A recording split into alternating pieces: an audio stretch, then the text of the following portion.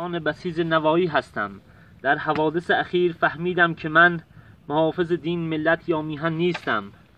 من فقط ابزار سرکوبی بودم برای نابودی هموطنانم و خواستهای به حق آنها.